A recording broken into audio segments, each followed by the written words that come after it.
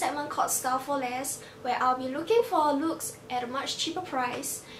As a student, I know that it's a struggle to keep up with trends especially when you're on a budget. That's why it brings me to this idea where I'll be sourcing for looks at a cheaper price so that you won't compromise on style and still keep up with trends.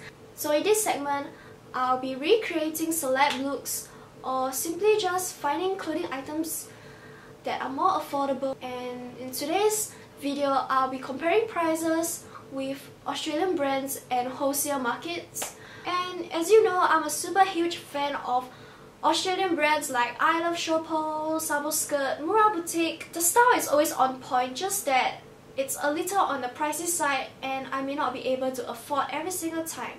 So thank God I've discovered wholesale markets like like Dresslink where I can shop for similar clothing styles for a much cheaper price. However, because I've never ever shopped at the original Australian brands, I cannot compare the quality, but I'm sure you get for what you pay. So the past few weeks, I've been comparing prices with the various wholesale markets and it came down to Dresslink which sells the cheapest of all. And what I like about them is that they also convert to my currency, which is Singapore dollars, and that saves me a ton of trouble converting which really annoys me.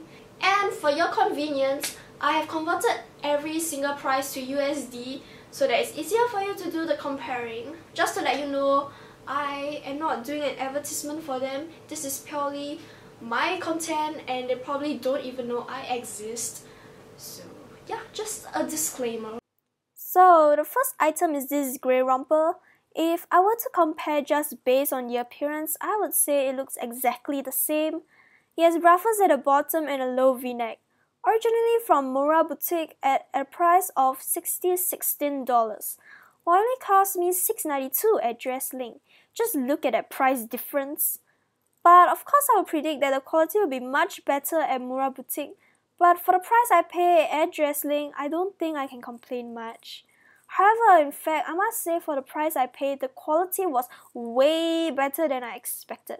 Next, I got another very cute romper. Again, if I were to just compare based on the appearance, I would say they look exactly the same.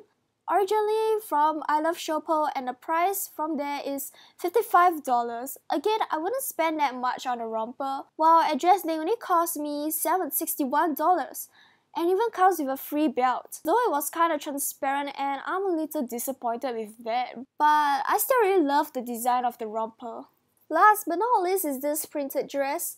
I initially thought it was a romper because it is a romper at Mura Boutique. Nevertheless, it still has the same print and style as the original one. The price at Mura Boutique is $27.31. Well, it's on discount right now but still doesn't beat the price at Dresslink of only $738. I really love the material a lot cause it's very silky, soft and comfortable to wear. What I don't like about this dress is that it's too short. Considering my height of 146 cm, if it's short for me, I honestly do not know who else can wear this as a dress. And that brings me to the end of this week's video. I hope you enjoyed this type of comparison slash review slash style for less type of video. You can show me that you enjoy it by giving it a thumbs up. And like always, do subscribe to me if you haven't. And my social media links will be linked down below. And I hope to see you very soon. Bye! We can break these chains